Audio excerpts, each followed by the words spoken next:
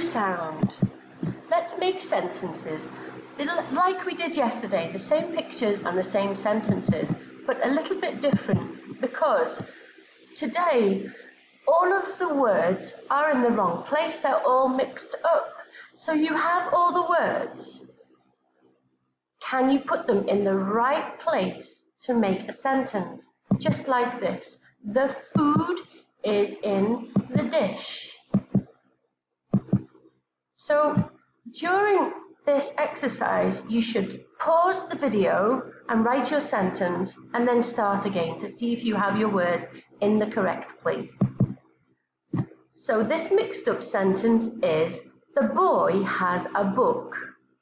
Pause the video now and write your sentence and when you've completed writing, start the video again to see if you have the correct sentence.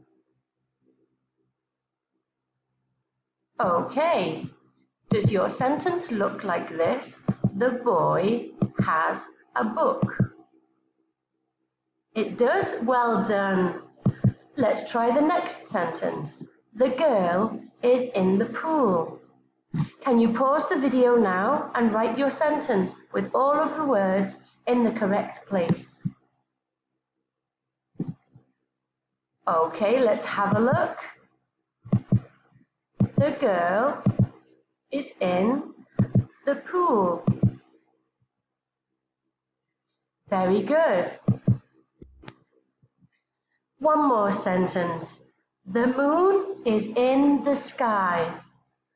Pause the video and write your sentence and then start the video again when you've completed it.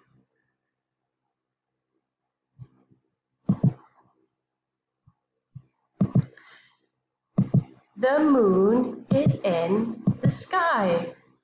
Is this what your sentence looks like? It is? Well done.